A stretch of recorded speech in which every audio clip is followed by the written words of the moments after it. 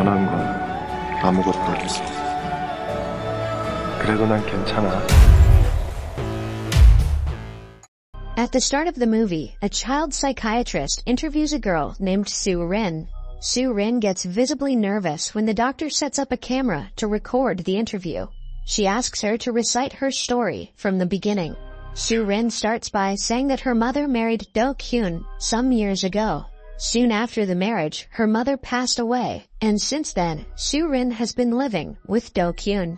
He is appointed to a construction site on a ruler island named Hwano, so the two have to move to the island. Since her mother's death, Sue Rin has never truly been happy. She doesn't talk much and isn't fond of her stepfather. She is enrolled in a new school on the island where she has the opportunity to make many friends, but even then, she prefers staying alone. Her stepfather has to work overnight as the chief of a tunnel construction site. Because of the explosions that take place during the construction, the inhabitants of the island are forbidden from entering the construction area. One night, Sue Rin goes through her phone and reads comments on her blog about a wormhole. When her mother died, Sue Rin wanted to run away from the world, and while researching ways to do that, she started to gain interest in wormholes, supernatural beings, and so on. She talks to people on the internet about such topics, even on the school's computer. She accidentally leaves her computer open, which allows her classmates to read her comments and make fun of her. While returning home, Sue Rin meets a boy named Sung Min who lives in an orphanage. Sung Min introduces himself and tries to befriend Sue Rin, but she ignores him. The next day during lunch, Sue Rin comes across Sung Min and his friends talking about her blog on the wormhole. Sung Min claims to have entered another dimension after reading it. That day, Sung Min follows her as she is walking home. On being called out, he says that he believes everything that she has written in the blog. Out of their shared interest in supernatural processes, the two become friends.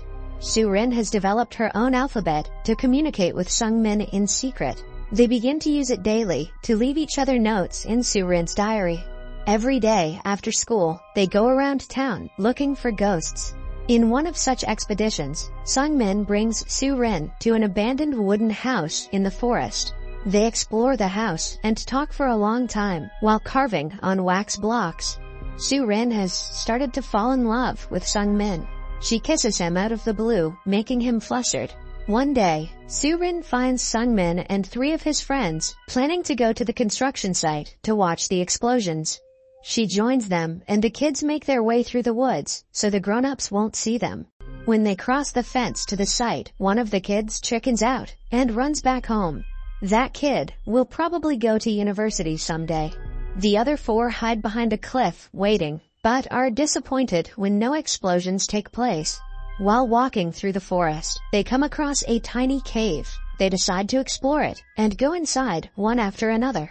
Eventually, they come across a bright glowing substance submerged in water at the end of the cave. Su Rin assumes that it is a meteoroid. Sung Min takes it upon himself to dive into the water and bring the substance out. On being brought out of the tunnel, the thing stops glowing. The kids notice that it looks like an egg. One of the guys named Tai Shik claims that the egg might belong to a time goblin. Whatever Tai Shik is on, I want some. His grandfather had once told him that on full moon nights, a cave appears in the mountains where the time goblin lives. Whoever goes into the cave will come out as an older person.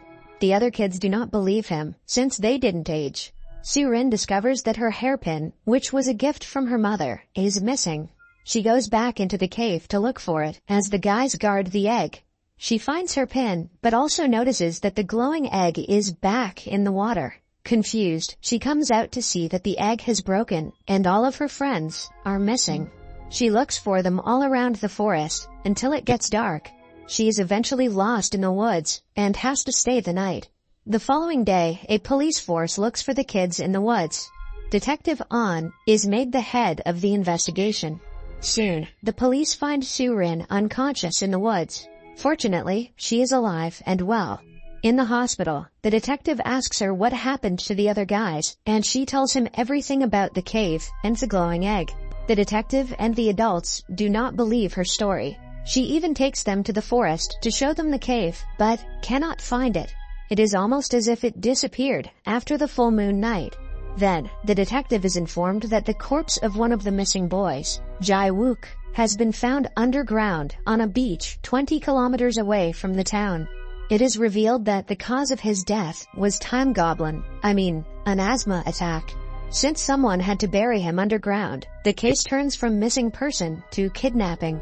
Weeks pass after the incident, but the other two boys are not found. Without Sung Min, Su Ren reverts to her old introverted self. She too is as confused as anyone, but no one believes her when she says the truth.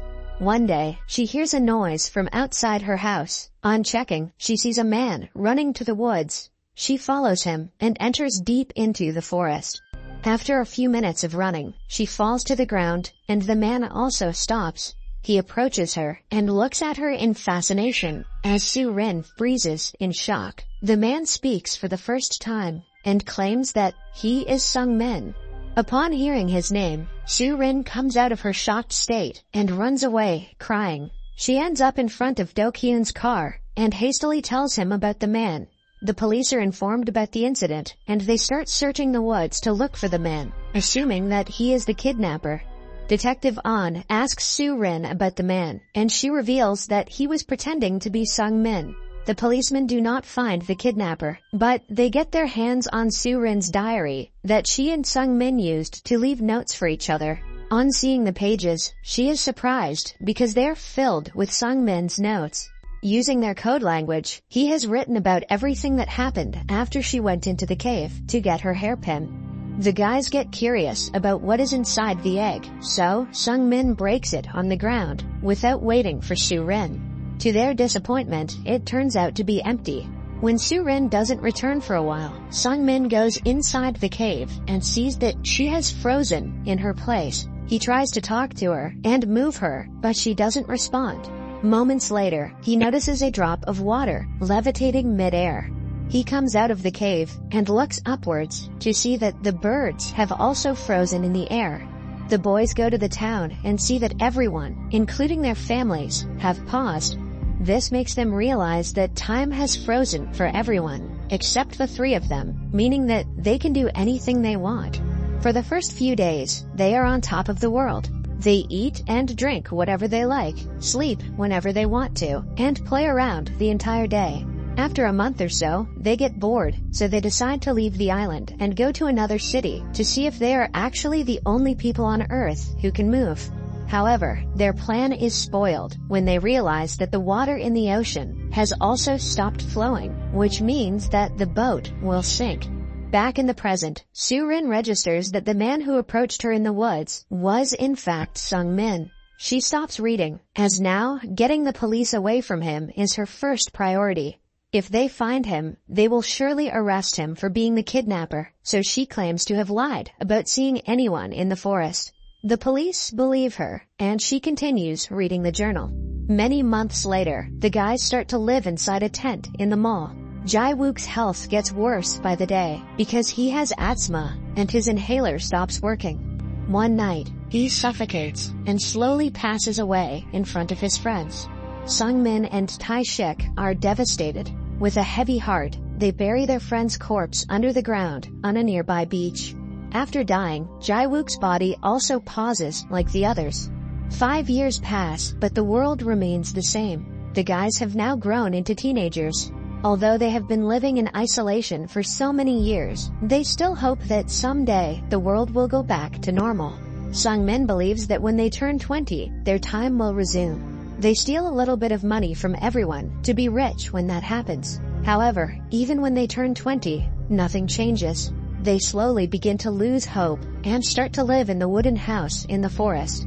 One day, the isolation gets the best of Sung Min. In a scene straight out of my COVID diaries, he screams and yells for it all to stop. Tai Shik witnesses this from afar and loses all hope. Some days later, Sung Min notices that the moon's shape is changing, meaning that the world is about to resume course. He goes looking for Tai Shik, but doesn't find him anywhere. He searches for him throughout the island and eventually reaches the last cliff. There, he discovers Tai Shik's clothes on the ground and registers that his friend has jumped into the water. He also jumps after Tai Shik as a last resort. But at that very moment, the world resumes. He comes out of the water and is mesmerized by the moving nature. After reading the journal, Sue Rin runs to the wooden house and finally sees her friend. They decide to tell the story to the world, but are unsure if anyone will believe them. Meanwhile, CCTV footage shows the police that Sung Min is in the woods. They believe he is the kidnapper. At night, Sung Min comes to Sue Rin's room for emotional support. Since he has been living alone for such a long time, he is scared he will harm himself to get rid of the pain. The next day, Taishik's parents arrive at the construction site, blaming Do Kyun for their kid's disappearance. They believe that the explosion in the site killed their son, and Rin is making up stories to save her stepfather. Meanwhile, Rin and Sung Min go to the orphanage that Sung Min used to stay in. Rin explains everything to the warden and comes outside to call Sung Min. However, she is dragged away by her father just then. Sung Min approaches his mother-like warden and tells her everything he used to do as a kid. She is shocked, but she still doesn't believe him Do Kyun locks Rin in her room at night, but Sung Min enters through the back door and frees her. Together, they run away from the house to decide what they should do next. Su Rin remembers seeing a second egg in the cave. She suggests she uses the egg and returns as an adult to prove to the others that Sungmin is innocent. However, Sungmin is against the idea because he knows how difficult it is to live in isolation he would rather be named a kidnapper than let her go through what he felt in the past years. Do Kyun sees that his daughter is missing and figures she went to the wooden house after finding a picture of her and Sung Min on her phone.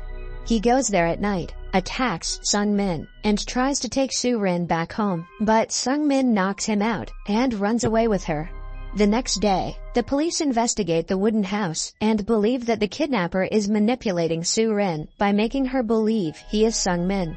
The news about Su Rin's disappearance is on TV, so the police soon find the two. A chase ensues between them and the police when Su Rin turns herself in to save Sung Min. Before separating, she asks him to meet her at the cave. Detective An tries to make Su Rin understand that the kidnapper is lying to her, but she doesn't believe him. She makes an excuse of wanting to go to the bathroom and runs away to the cave. She brings the glowing egg out and hands it to Sung Min, but he refuses to return it to her because he doesn't want her to use it. He is about to turn himself in and take the blame for killing his friends. He runs away into the woods as Soo Rin follows him. At the same time, the police arrive and chase them. They stop at the edge of a cliff an officer grabs Sung Min and pushes Soo Rin off the cliff in the process. The detective helps Soo Rin, but ends up hanging off the cliff with her. Sung Min tries to save them, but before he can, they both fall back. In order to save them, Sung Min breaks the egg again and stops time. When Soo Rin wakes up a few seconds later, she is on a beach with the detective. She realizes what Sung Min has just done. Although it has only been a moment for her, for Sung Min, it must have been another decade. She is then taken back home. While eating dinner, she apologizes to her father for everything she has done and calls him dad for the first time. The detective comes to inquire how they survived the fall. Su Rin doesn't answer, but he figures out that she was telling the truth this entire time. He suggests she give a false statement to the media and say that the kidnapper had manipulated her. This way, the people who are accusing her of killing her friends, along with the kidnapper, will be proved wrong. Soo Rin is finally done telling her story to the psychiatrist. She is left stunned after listening to it all and wants to write a book on it. Some months later, Soo Rin is moving to a different city for high school. Before leaving, she meets the psychiatrist who gives her the book which has now been published. So much for doctor-patient confidentiality. On her way to the ferry, Soo Rin sees Sung Min through her car window and runs to meet him, but finds no one. But, sometime later, the two meet on the deck. The movie ends as they stare at each other. Subscribe for more videos like this, turn on notifications, and leave a like to help the channel out.